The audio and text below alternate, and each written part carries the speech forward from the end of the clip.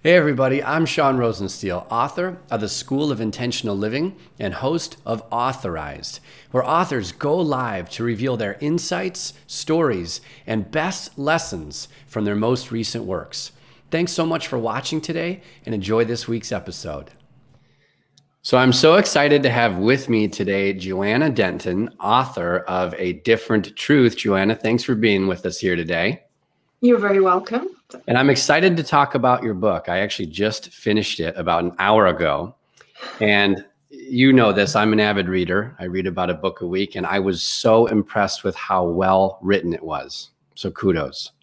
Thank you. That that means a lot. Thank you so much. Yeah, you bet. It was one of those books where I took a, you know, like a flyby. I, I read through it cover to cover spent a few hours with it over the last, I'd say, two weeks. And it's definitely one of those on my reread list. I'd like to go back. There's so much great, valuable content in it.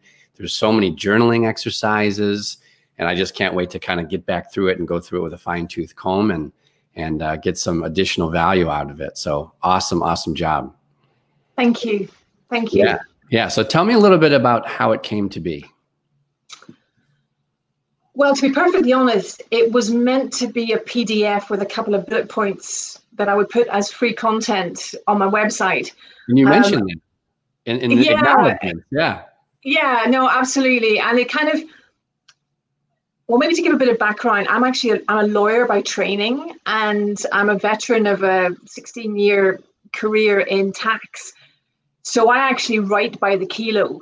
Um, and the kind of PDF turned into lots of words. But maybe maybe to explain a little bit about where the story came from, I need to take a step back and talk a little bit about that past experience and what happened next. So back in 2014, I was 16 years into this international tax career. I'd been working in the UK and I'd moved to Luxembourg.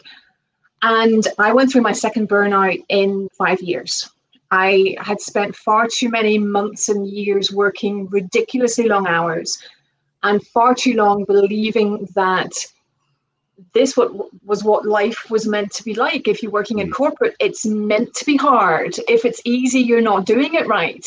Yeah. And the universe had been kind of sending me these wake up calls for a number of years and i'd been pressing the snooze button on those wake up calls for so long until i had this kind of life changing final wallop around the head with a great big plank of wood type experience that said, okay, you really need to change your life. And and I went about I went about doing that because what I realized was that I could end up with a heart attack or a stroke by the age of 45. You know, it wasn't the doctor telling me that, it was me knowing this to be the truth. So I started kind of unpacking the reasons that I had got there. And what I realized was that it's very easy to almost blame it on a culture in corporate life. Well, the culture's like that. Everyone works too hard. The culture's like that.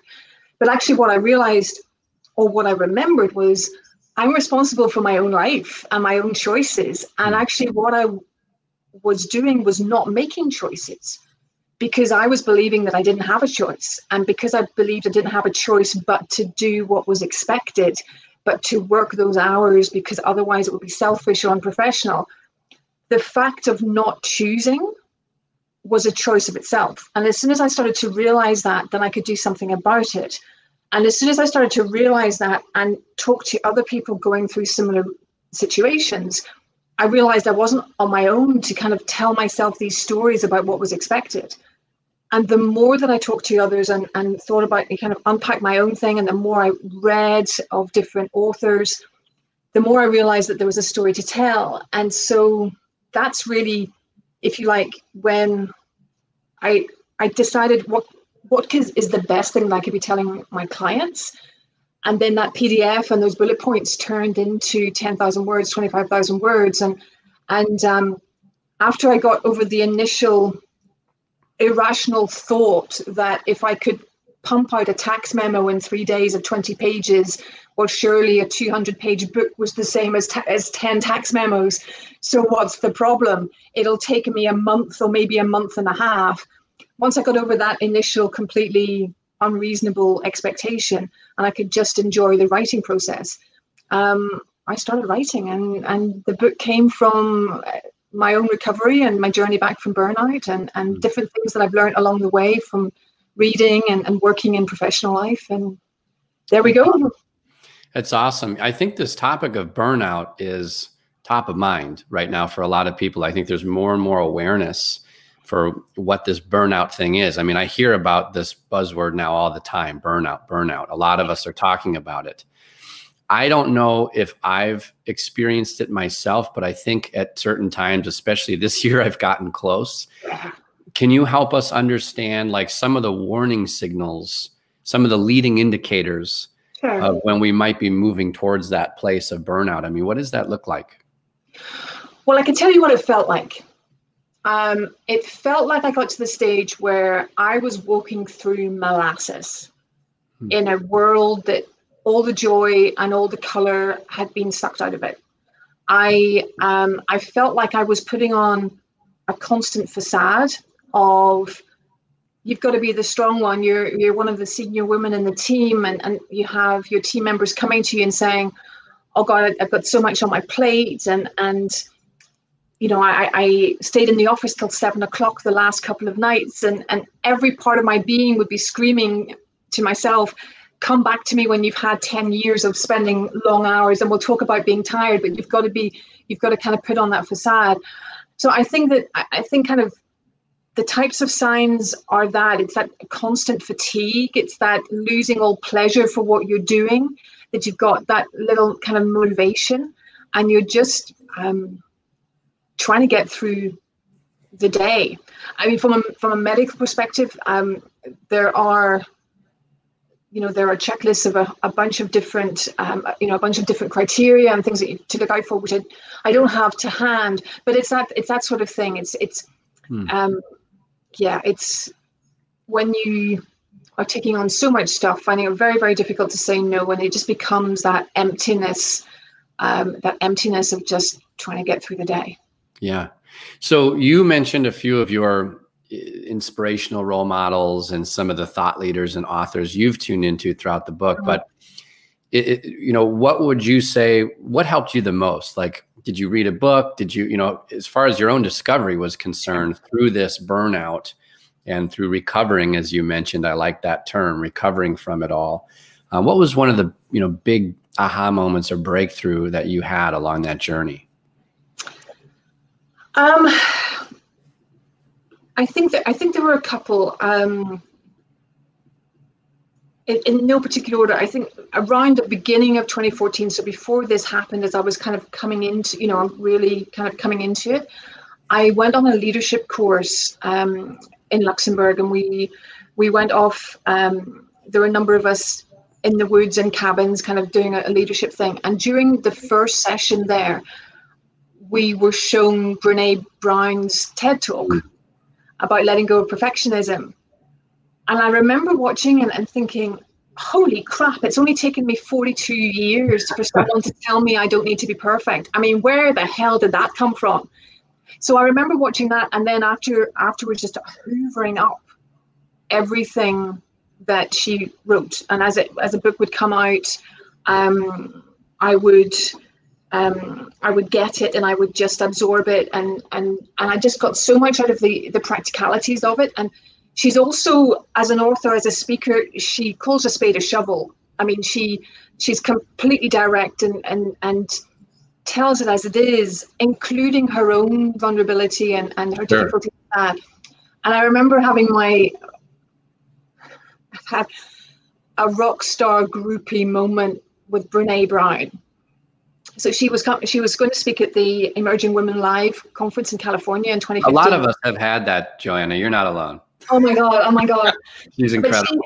She, she, I mean, she um, she was going to speak there. So I, I live in at the time I was in Luxembourg. Now I'm in the UK. So I travelled to the other side of the world to watch her speak. Yeah.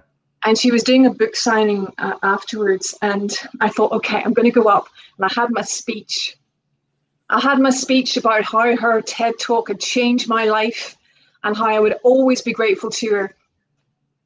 And instead, I go up, I'm the second to last, and I get in front of her and I put my hands on the table in front of her and I go, Oh my God, it's you! I'm so excited, and you're coming to London, and this is amazing, and oh my God. So I had a complete embarrassment moment. You had a um, groupie um, moment, yeah. I had a complete groupie moment with her because, again, this was a couple of years, you know, this was a, a few years later, and, and I'd read so much about it, and it really was that. Um, I redeemed myself a few months later when she came to London, and I went up to, to her in the coffee break, and I apologized profusely for having the complete meltdown. But yeah, so I think definitely Brene Brown was one of the one of the writers to start with that had that kind of that turnaround yeah. stuff because I think until I think until then, so I mean the you know the other the other life changing things came slightly after it, but until then, when it came to anything like self development, I felt it well. I knew that I could intellectualize anything. Give me a book and I could tick boxes. Um, but this idea of kind of self development and self discovery just felt really pink and fluffy and woo woo. And I'm an intellectual, I'm a lawyer, I'm a tax consultant, I have law degrees and qualifications. Don't give me this rubbish.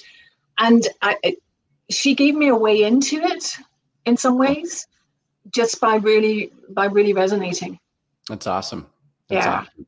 yeah so speaking of ted talks mm-hmm. i believe you gave a ted talk not too long ago is that right? Uh, yes, TEDx. TEDx. Um, I gave two of them. Um, so one at the University of Brest, which is an engineering school in the north of France. So that was in French. And then the second one was wow. at the University of Surrey um, last March, so just over a year ago. Yes. Okay. So I haven't uh, seen those. Were those along the same topics as A Different Truth? Yeah, very much so. So the, the, the French one was the power of the power of a choice, and the English one was um, the what choice are you not making today? So hmm. it's broadly speaking the same story that kind of opens the opens the book. Um, but yeah so that was oh. that was a an interesting experience in, in itself actually doing a tedx. Cool. but yeah lots of fun. Yeah. that's awesome. That's awesome. So was the book out when you did the tedx or were you working on it?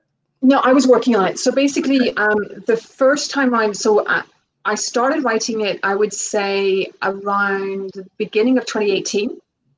And I worked on it for a number of months, went through a first editing process with a developmental editor, Erin, who was had a, the patience of a saint. And then, so around the September of that time, I had something solid-ish. Then I did the TEDx's within the next five months and then I kind of went back to it and started tweaking it because I think really um, from the perspective of the process of writing the book, I don't think I really knew what I wanted to write until I was writing it and I was coming to the mm. end. And when I when I was bringing everything together and then had the opportunities to do these speeches, that's where I got really concrete on this idea of choice and taking back control of your life by taking back control of your choices. Sure. Until, until then, I think it was, you know, throw some words at a page, hope something sticks. So it would be quite nice to have a book, but you know, it wasn't really um, it didn't feel real or, or doable. And then I did the TEDx's, and then I spent the next couple of months doing the final copy editing and designing the book and everything else.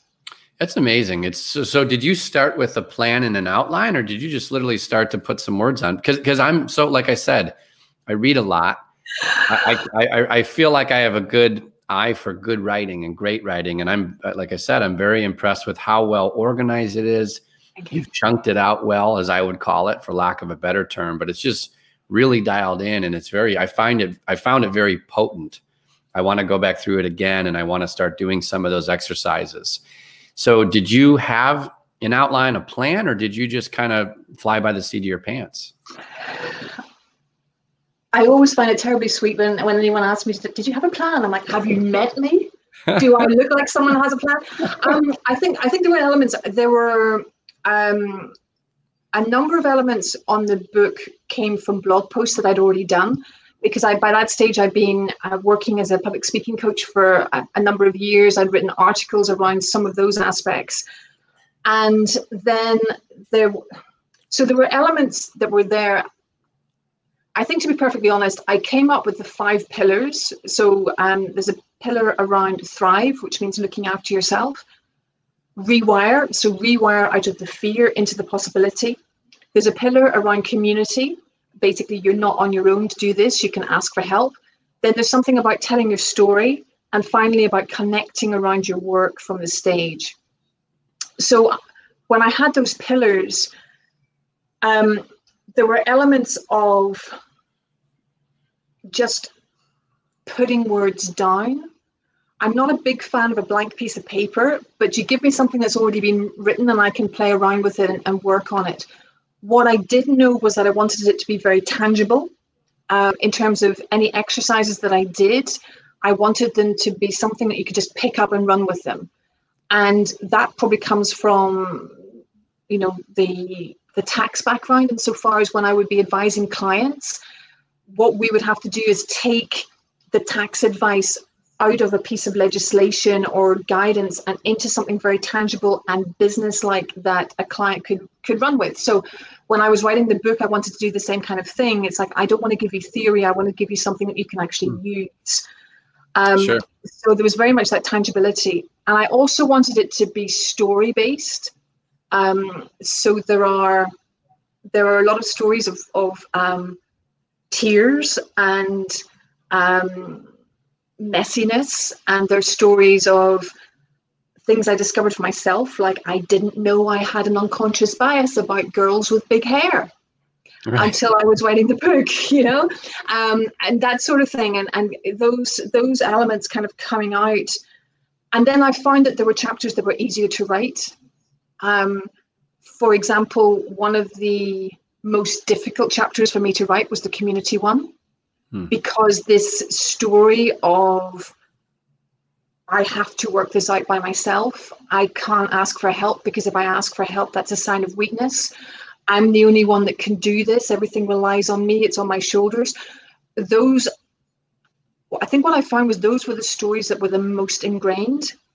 And um, therefore, I think that's probably why the, the, the chapter on community became the most difficult because that's I think I think as authors we write about what we need to learn, mm-hmm.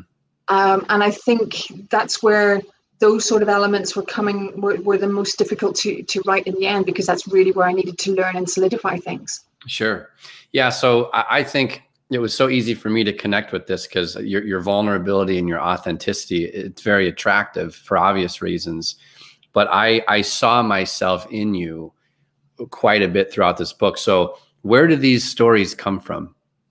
You know, like how do we, where do they come from? We think we have to do it all of, on our own. We have to be completely self-sufficient. We can't ask for help. It's a sign of weakness. There's so many of us like that. This is not uncommon. So where does all of this, where do all these truths, as you call them, mm -hmm. right? Where does it come from? Well, I think if you to speak to a psychologist, it's I think which I'm not obviously, but these stories come at least certainly my understanding, they come when we're just when we're growing up when we're a kid and we're trying to find our way in the world and what's our position in the family and what are the things that work for us to get attention or to um, get affection or be accepted? And so we kind of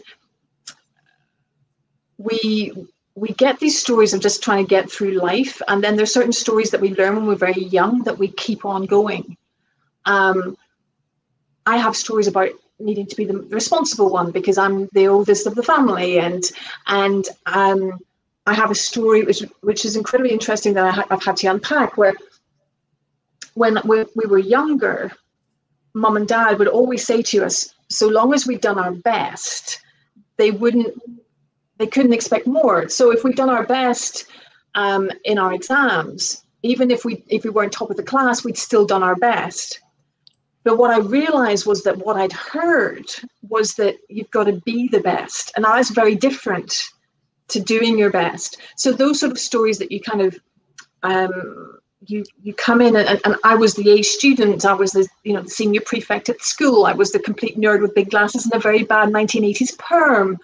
And so you kind of get that aspect. Then you go and you do a couple of law degrees and you you learn at law school that if you want to get the best positions, you've got to get the best grades. And when you get in there, then you've got to work hard to get the promotion. So these stories are kind of these stories they get reinforced over time they get nuanced as you go along and essentially then what happens is that they um, they serve as the basis for our thoughts and interpretations in different situations. Sure. You know?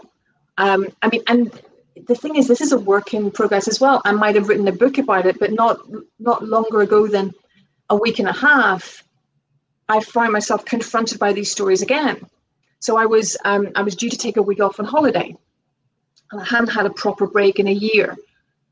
And it was Friday, and I find myself feeling in a funk of like, well, I'm supposed to be on holiday next week, but and what I realized was so my niece was coming to stay with my parents. So she's eight, going on 18 and a half. Um, fine line between she will either be an international lawyer or the head of an international crime syndicate, the days where the line is so fine you would not imagine. But she was coming to town, staying with my parents. And what I was really realizing was that I was realizing that on my holiday, I just wanted to have time for myself, do mm. things for me. But then I was starting to feel guilty that I did I wasn't wanting to spend 24/7 with my niece. And I was feeling guilty about saying to mum and dad, you know what? Um, I want to do things for myself. I'll come over in the afternoon. And, and so I got myself in this complete mind warp of a feeling of guilt about the possibility of having holiday. And I find myself at a choice point. And what I was saying to myself is, you know what, Joe? Why don't you just work through? Sort the holiday, just pretend that you've got to keep on working. Then you don't have to have these conversations then you don't have to have anyone else think that you're selfish because you don't want to spend time. And I caught myself thinking that, and I thought to myself, catch yourself on. You've written a book about this. You had two burnouts in five years because you were convinced that it would be selfish to look after yourself. And here you are, um, however long after the books come out, however long after this, and you're still, you've still got those stories. And I was able to catch it and make a different choice. And what I did was I chose to let go of that guilt and I chose to do things for myself. And I sat down and I said, okay, well, if I wanted to go on holiday, what are the what are the things that I must absolutely get done? And it was about two and a half things. It wasn't like I had a great big long list of things to do. And so I kind of did that. And then I started planning fun things and I booked myself into a four or five star hotel in Belfast, five miles down the road for the Friday at the end of the week. And I invited my niece to come for a sleepover and have a movie um, so that I could really enjoy it. And we had a breakfast date with my nine year old neighbor as well. She came over and had breakfast with us. Cool. Um, and then I had a week of breakfast on the patio, reading my book, and then going and seeing my niece for a walk in the afternoon but it was this kind of release of letting go of that guilt and choosing not to feel guilty and choosing to do things for myself that is a kind of reinforcement that we i mean i'm sure you've had similar experience it would be fabulous if we could watch one ted talk and we'd learn the the secret to life and from there on in it's a walk in the park because it's so right. darn easy. Right. Hell, I mean, neither of us are going to be, you know, we're not, of course, that's not, it, it's a work in progress. And I think that um, what I set out to do with the book was kind of flag up some of these aspects so that it become it comes on your radar and you yeah. can make those choice points of do I go down the do I go down this way, which would be my normal pattern of canceling the holiday and saying I'm too busy, or do I make a choice to go down that way and let go of the guilt and actually do things for myself? Sure. I love what you're saying about letting go of guilt. And I think only mm. recently that reached my consciousness, my my awareness. Like I, I'll, you know, have breakfast with my family and when I leave, it's like this ordeal. And that's probably on me, but it's like I I'm like dragging three kids as I walk to the door. You know, nobody wants dad to leave for work, but work's got to get done. And for a long time, you know, I drive a 10 minute commute, whatever it is, and I would have that guilt. And it would actually, you know, when I came from that place, it would affect the first few hours of my day. And you know, am I making the right choice? Should I be taking the morning off? Should I be putting in more time? And I've learned recently, like, okay, commit to the choice that you made. You know, it's like I made a choice. I'm doing this. I'm off and now my mindset and my my head and everything i'm paying attention to the state i'm coming from my energy everything needs to be focused on the next move or the next thing that i'm getting into versus carrying all that baggage with me right so i love what you're saying about letting go of guilt that that only in recent months has really been on my radar screen and it's such a powerful just awareness tool that you can decide to let that go and move forward and for me, I, what you talked about is the opposite. You're you're doing, you know, self preservation, self care. You know, the, the, things that you need to be doing. We all need to be doing that. I'm talking about actually going back to work. so it's a little different. But same thing applies when I'm with my kids. It's like I'm physically there, but sometimes mentally I'm not present, and they know, right? Your your niece knows if you're at breakfast with her if your head is at work. Yeah. Um, yeah. So same thing, same rule applies on the other direction, like you're talking about. You know, when we make a choice to be present with someone, we need to be present, both phys- physically, but but I would even say more importantly, mentally, because even if you're on the phone with somebody, you know, you can tell when they're not there, right? Yeah. Um, so I love that. So out of these five pillars, mm-hmm. which one do you see as being the most difficult? I I know which one is maybe the most difficult for me, and I won't share that, but what do you see from the feedback you've received from the people you've worked with? I mean, which of those five pillars are the most, uh, which one is the most difficult to really work on? Um, I think that's a very interesting question. And I think that it depends on who's reading it. Do you know what I mean? Mm-hmm. Insofar as the choices that we make we make them in our in the own context and the own environment that we live in. You know, I'm single. I have two cats, but they're they're generally you know quite pain free, and they're unless I'm on video conferences and they're coming across. But I, I don't have a lot of you know I, I don't have a mortgage to pay or things like that. So I have a lot of freedom in in some ways to make choices that maybe someone else in a different situation financially or family um, would have. And I think I think that's the I think the crux in terms of what is difficult or easy comes down to the individual circumstances of different people.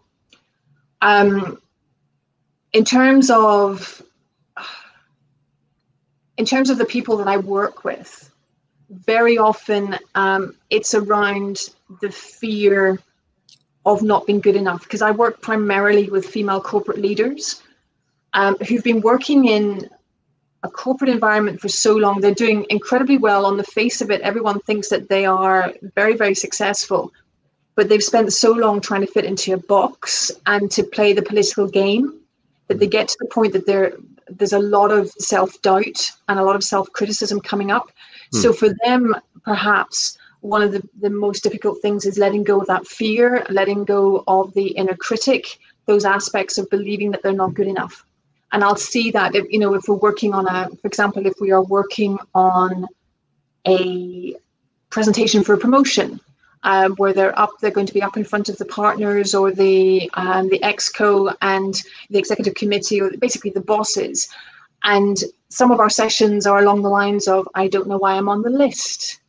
Um, I'm never going to get this. Mm. If I stand up and I say, I explain my involvement in this particular um, project, then I'm going to piss off this other guy who's been taking the credit for it for months. You know, those sure. sort of things. And and sometimes, so from from the clients that I'm working with around that, very often it's around those set those fears and the rewiring aspect, rewiring out of the fear into the possibility that's there, and giving themselves permission, giving themselves the means to be the powerhouse that they've forgotten that they really are. Sure. You know? Yeah. Um, and then for others, there will be other aspects that are difficult for them as well. Um, even even the aspect around telling your story and putting yourself out there and telling people how good you are, telling people what you're capable of, that can be very difficult for a lot of people that have been brought up in a way of um, don't be the tall poppy. If you, you know, chaps don't talk about things like that. It should be enough that I've done a good job. I don't need to tell anyone. So what I find is that um, the the people who've read the book have told me that there are chapters of it that they have spent more time on, and other chapters where they just kind of read through and said, "Yeah, okay, fair enough," and then moved on. Right. And I think that's I've, I've tried to write it as well in a way that you can dip in and you can you can meet the book meets you exactly where you are. Right. And if you open the if you open the book wherever wherever you want within it, you'll find something that can be helpful. Sure. Uh, yeah, it's great. So so who who's your ideal reader? I mean, who do you see as your ideal reader? Um, I think generally speaking, someone working probably in a corporate environment that is kind of uh, juggling a lot of these things and a lot of the um, a lot of those doubts and those feelings of, of being stuck that I don't have a choice but to work these hours and everything else. Certainly the people, probably because um, the people that have been in touch with me directly are, are former colleagues who've read this and they've said, oh, Joe, this is amazing. Thank you for writing this book. I've had people write to me and say, thank you for writing this book. You assuming your story allows me to assume my own. Right and at the same time, you know, when I did the TEDx, um, the when, when I did it in, in at the French University, it was a it was a kind of hybrid format in that I did a I did my 17, 18 minute speech, and then we had half an hour of Q and A, and so those were students, engineering students, and the and the way that the French didn't know so much about the U.S. system, but there's a lot of pressure um, at, at university with us, we have a pressure at 18 when we do the exams. Mm. You pass your exams, you do well at your exams, and you get selected into your university. But certainly in my day, unless you really majorly messed up, you would kind of come through it. In France, it's very different. That they everyone goes to university, and then you get kicked out when you fail your exams. So the pressure on these on these students is phenomenal. Wow. I, I spoke to some of them that had already been through their second or third, you know, mini burnout of their studies and to be able to have those Q and A. And I remember um, one guy in the audience saying, "What do I do if I see my friend is going through this?" Mm. And I gave him, you know, my thoughts on, you know, be there, listen, and, and just be there and see, what, you know, he will tell you what he needs. But I came away thinking, if one guy on this campus in this world got some help because his friend came and listened to me talk, then that's you know my job is done. So all that to say that even if I wrote it for my former colleagues, for me a number of years ago, but I wish I'd had this book 10 years ago. Yeah. What I'm seeing is that so many other people, it's resonating with so many other people in different um, environments and different um, different perspectives. I think the fundamental premise of the of the book is common to everyone. Hmm. I would agree with that. Yeah, I would agree. So tell us a little bit more about your business. So you said you work with corporate female leaders, is that right? And I know that you're a speakers coach as That's well. right. Yeah. That's right. So so really um I'm an executive and a public speaking coach. So what I do is I work with my clients to help them step into that um, into that powerhouse that they they really are, but with very tangible skills. So what I mean by that is I help them reframe some of those stories that they're doing by, by mm-hmm. identifying them and reframing them. But then afterwards, I say, well, it's not enough just to start believing a different story. You have to actually put it into practice. Right. So, for example, if I'm working with someone and we're working on that promotion speech, it's all very well me saying to them uh, or helping them reframe a story where they don't believe that they can tell people how good they are. It's like, okay, well, then how do we do this speech? and how do we build that in a way that's going to resonate with the audience and we'll actually sure. then talk about so I, I kind of I, I draw on you know 18 years working in corporate you know many of those the majority of those kind of client facing i draw on the experience i have of knowing what it's like to work in corporate in terms of the internal politics in terms of client facing aspects um, in terms of managing a team and and help look to help them work on those very concrete skills that they can then just get on with it. Pretty much go walk into any room, any meeting, and know they're going to nail it. Sure. Be that a meeting with their team, a meeting with their boss, um, a promotion, a conference, or whatever else. Yeah, very cool. Very cool. Yeah, you you there was a story. I think it was towards the tail end of the book where you mentioned that you gave some feedback. You were offering help to someone, and they kind of rebuffed it and then you recognize the fact that oh he doesn't know my background he doesn't yeah, know my credentials right so that's an interesting way of looking at that because i always blamed that on a lack of rapport so anytime that's happened in my life i'd always say well no wonder i don't have any rapport with that person just yet. But i like what you're suggesting which is they don't know your story. Yeah. You didn't share your story with them. They don't know your background. They don't know what value you can bring to the table or what you've already brought to the table right? So i think that's a very powerful lesson at least that i took away. Yes and what i find really interesting in recounting the story was this kind of aha of i'd kind of gone in thinking it would be too arrogant to say well actually you know, you know I've been a conference speaker for 20 years. I actually know what it's like to be on stage in front of clients, and I you know, I, I have worked in that client facing role. So I thought there was going to be an arrogance if I kind of spelt it out as if to say, who does she think she is? And yet to then assume that he would know without me telling him, I'm thinking, well, that's even more arrogant, you know.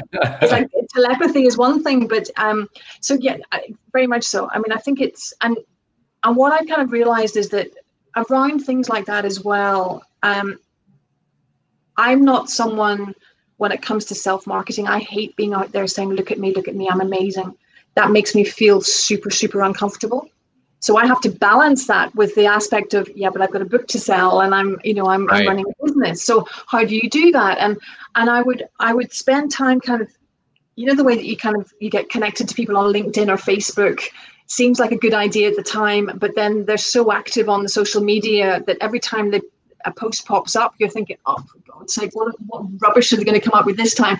Yeah. So I'd be looking at these people and thinking, I don't want to do marketing like that. That's not what I want to do. And I had got, I almost believed that that must be the only way to do marketing. And a great piece of advice that someone gave me was, well, rather than look at them as examples of what you don't want to be, well, then look at the people that you do want to be. Sure. You know, how do they market? And what are they doing that's different? And and uh, and so yeah, so it's that kind of element of, and I think this is what is it's very important as well. Reframing these stories, reframing these choices. It's not about a cook, you know, a, um, a cookie cutter, one size fits all. It's about stepping into something that feels real and feels doable.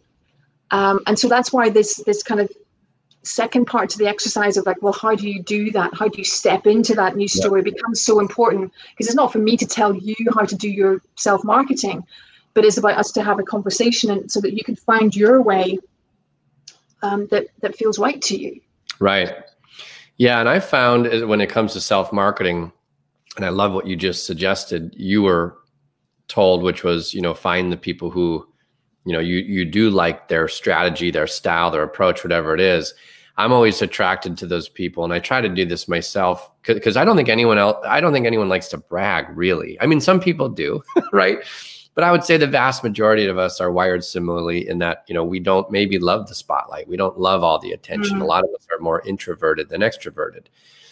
But I've seen people do a very, uh, I would say, in good taste marketing where they frame what they're talking about with gratitude or, or appreciation like, oh, I'm so blessed I just hit the New York Times bestseller list, you know, or I'm so grateful for all of you for participating because I just hit the New York Times. You know, without you, it would have never been possible. Versus, look at me, I did this, I did this, sure. I did this, and now I, you know, I made it. it was all me. So I always try to frame those types of, mm.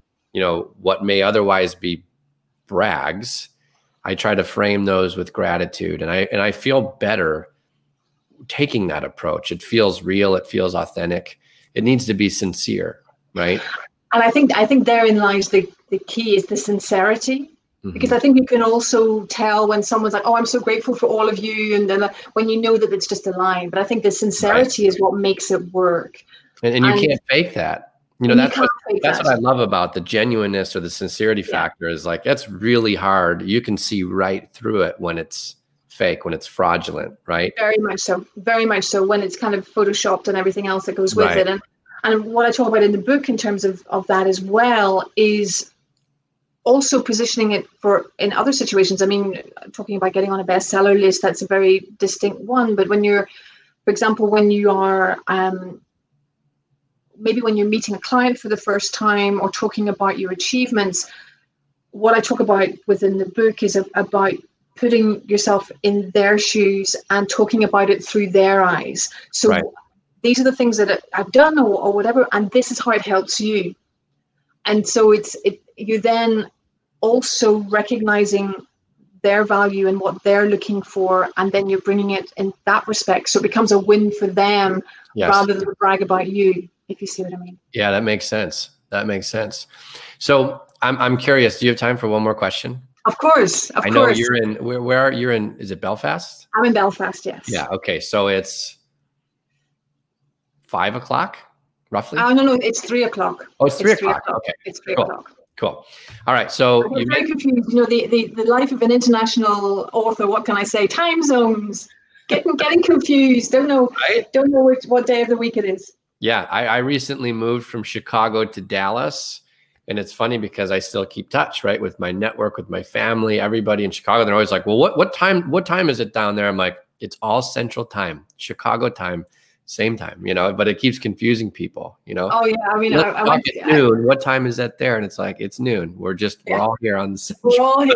Uh, when I, I took my mom to California to the 2016 Emerging Women Conference, and so obviously eight hour difference with the UK. And every morning we would talk to my dad.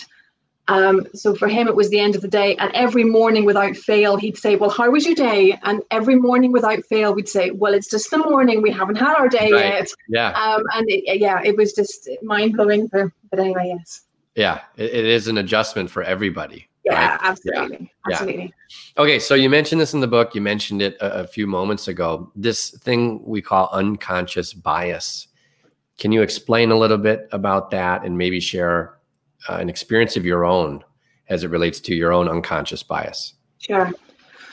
Well, in terms of in, in terms of the words themselves, so the idea of bias is um, how would I explain this? I suppose the idea of bias is the idea of coming to the table with particular baggage which tells you that someone you're speaking to um, you maybe start off on a on a different footing with that person so for example we all know about kind of conscious discrimination over here um, for example in northern ireland there was there's, a whole bunch of legislation around conscious um, against conscious bias or discrimination according to your religion. So there, we all know about the kind of consciously. We don't want to consciously discriminate against someone because of their religion, their race, their gender, their sexual orientation, etc. The unconscious aspect is when we do this not consciously but unconsciously. We don't know we're doing it um, so the example I, I, alluded to before, I um, I alluded to an unconscious bias against girls with big hair. So what do I mean by that? What I realized is that when I would see um, girls or women with big hair, I had this unconscious bias in my head of you have clearly spent far too long in the bathroom in the morning getting your hair looking like that. You've spent no time studying. So what can you teach me? And I know this came from school. You know, I know at school I was the nerd with the geeky glasses and the big perm, and the popular girls were, you know, I was top of the class. The popular girls with the big hair were not necessarily top of the class. And I find myself having, you know, having that thought that as soon as I saw someone, um, I would be like, well, what do they have to offer me? and it, I was only confronted with it with one of these um, emerging women conferences that I've spoken about a couple of times when you've got 500 women in the room with big hair. And on stage, they've got big hair, immaculate makeup. It's like a poison uh, concert. Sorry? the poison concert, right? Yeah. They're everywhere. You can't turn around, but you've got somebody with big hair and not a stupid woman in sight. And I, I just had this kind of aha moment of, holy crap, right? you know, I'm kind of looking at that and thinking, um, you know, I'm, I'm looking at these images thinking, almost thinking it's impossible to be smart and well turned out.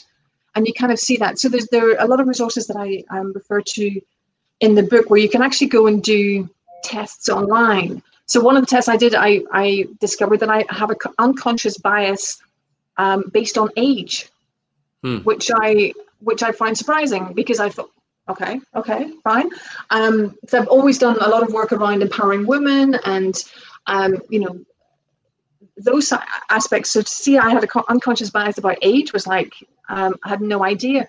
Hmm. And the types of things that we're finding there is that when someone w- would say, when is middle age? I'm 47 years old. And a couple of years ago, I watched, do you know the movie Shirley Valentine? Does that ring a bell? I haven't seen okay. it. I know of so it. Shirley, so it, it's a movie, it was made in the 80s about this woman living in um, in Liverpool. She was a housewife. She was 43 years old. She talked to the wall. She had nothing else in her life but talking to the wall in the kitchen. So she went off to Greece to, to find herself. And I remember watching it when I was 43 years old, thinking, well, I'm not middle aged.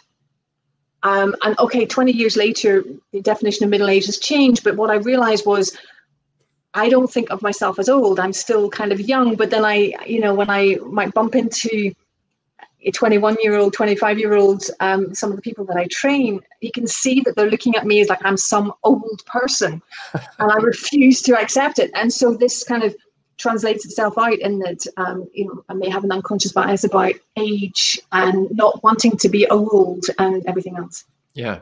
So that's, I, I hope that, does that explain? Yeah, that, it's, a great explanation. I think a lot of us have that when it comes to age. I know for me, I still view myself as 18. Like I'm just 18. You know, my aunts and uncles are only 10, 20 years ahead of me. They're they're you know, I, I have uh, aunts and uncles in my six in their 60s and 70s, but they're still like 38, right? Aren't they still in their 30s or 40s? But I still look at my I'm almost 40 years old myself, and I still look at myself as 18 and just still trying to find my way, figure things out, do the best I can, make a difference. But I don't have all the answers, you know. So I, I, think a lot of us have that unconscious bias as it relates to our own age. Absolutely. Yeah. And then there are other people in our life that are like mirrors that remind us. Cause like my kids, I can tell how much they look up to, you know, it's like, gosh, I better at least pretend like I know what I'm doing here because they're watching me. right. And then you have, and then you have yeah. friends who called yeah, me like absolutely. Mr. Rose. It's like that's my dad. You know, I, am not Mr. Anything. You know, don't but, even go there. Don't yeah. even go there because in in um in the French culture in France, there are two different words for for you. There's a vous or there's a tu, and there's a formal version of it and there's an informal version. And when I arrived in France, everyone was calling me the vous form because I was a manager, and or and I'm like, no, that's my granny, you know. But in terms of age, just just you wait until you get your first pair of reading glasses. Um, I had to get my first pair of reading glasses about two years ago, and I, I, I nearly had a you know a complete breakdown in the optician. It's like, well, he said, yes, but it happens with age. And I'm like, well, I didn't bloody well get the memo. You know, it's like, why, right. why does it hurt so much? And why do I have yeah anyway. But it, yes i mean it can be unconscious about age. It can be what school you went to whether you did go to school or whether you left school at 18 or you know all of those different things that we kind of walk through life. And again part of that is the stories we tell ourselves. Right you know, we, about accents. Um, you know if you for example, a Northern Irish, I, I have lost a lot of Northern Irish accent, but a Northern Irish accent would normally come across as "How now, brown cow," right. and it would be you know that, that sort of "How are you doing?" You see that you see that wee QR through the window, you know. Right. And, you know, the story goes that I was in the supermarket with my grandmother when I was about three or four, and apparently I shouted across the, the supermarket, "Granny, Granny!" and she was mortified at my accent. So that you know, I was sent to learn how to speak properly and everything. Because even accents, you can have an unconscious bias about accents and stories you tell yourself about where someone comes from or what that means about their their capacity or competence and, and those sort of things. Yeah. I'm fascinated with this idea of truth, which I think mm. is why I was so excited to read your book because I I've always believed that like truth is in the eye of the beholder. You know, so like try to convince someone who believes in the truth that it's false. You can have all the evidence you want. There's just no point. So it's just a fascinating thing because these stories we tell ourselves, it's like, I, I, what was it? The old, um, this is probably over talked about, but the old Henry Ford, I think, quote is who said it was like, whether you believe you can or believe you can't, you're right. So it's like, it's such a powerful thing, this truth. And so many of us are telling ourselves these stories in this inner, you mentioned the inner critic, the inside talk. And yeah. that literally creates our destiny. I think right? you're right. And I think there's also a distinction between, um, and my dad, um, my dad talks about this a lot. Um, the difference between truth and fact. Mm. You know, um, the fact is, this is a black biro.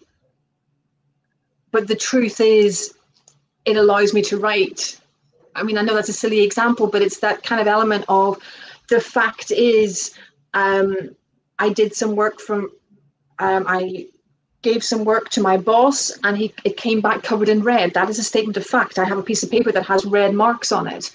But the truth is how I interpret that. You right. know, one truth is he's an asshole. Everything I do, he hates and he just writes it all over the place. There goes my clean lyrics. Um, you know, badge on my podcast. Oh, I'm sorry. Oh, I'm sorry. I'm oh my god. It was bound to happen. oh my god. So he's a not very nice person. Um, or another truth is I didn't fully understand what he was asking for. And therefore I didn't fulfill what he was looking for. Next time I need to work out how to understand his expectations and do it differently. Sure. Yeah. I can't believe it got into 51 minutes. I know, right? I didn't, I didn't, I didn't cuss at all. And then just at that moment, you've lost your badge of honor. I'm so sorry. That's amazing. The fact that you're Irish and you hadn't cussed for 51 minutes is amazing. Speaking of unconscious bias. Oh my gosh, I have to say that my my um my I'm very Irish, so hopefully you don't take offense to that. oh my god, no, don't worry at all. No, it's it, it makes me laugh because I I um I did a I did a kind of mini podcast interview at some point and my parents had watched it and they thought it was lovely you know you spoke very well and a nice rhythm. But you know you swore within 30 seconds of the podcast you'll have lost all the presbyterians when you did that. Like, oh my goodness. That's awesome. Oh i'm never going to be invited back to any podcast right? oh that's hilarious. That's awesome. Um, all right. Well mm-hmm. joanna where can we find you if we wanted to learn more about what you do uh, the, the coaching you do, the work you do, your book, where can we find you? Well, come onto my website. It's um, joannadenton.com. Uh, so J O A N N A D E N T O N.com. Got all the details of what I do. My TED, my TED talks are up, my TEDx talks are up there. Um, the book details are in there, and kind of getting in touch. Cool. And yeah, cool. and if anyone's kind of read if, if anyone's been listening, uh, those people listening, if they want to send me an email, say they've listened to me on the podcast and and um, get in touch like that, then that would be great. Awesome, awesome. Well, thank you so much for being here with us today. This is a You're lot very of fun. welcome. If there You're was, very welcome. If there's one message or one thing you could bestow upon us today, what would that be? I think it would have to be say about choice. There is always a choice choices have consequences, but there is always a choice. Don't forget that even in those moments where you believe that there is no choice but to take a particular action um, that's expected of you, and so you don't choose, even the fact of not choosing is a choice itself. So, how can you unpack some of those stories that you tell um, that give rise to those that feeling of stuck and that you don't have a choice, and start to make different choices? So that you, your future is there to be written for you whenever you want it. So, what future are you going to choose for yourself today? I love that. I love that. Well, thanks again. I can't wait to go through your book uh, a second time and go through some of those journaling exercises. I'm looking forward to that. So, thank you again for writing it and thanks for being on the show. You're very welcome. Thank you for having me on the show. Thank you.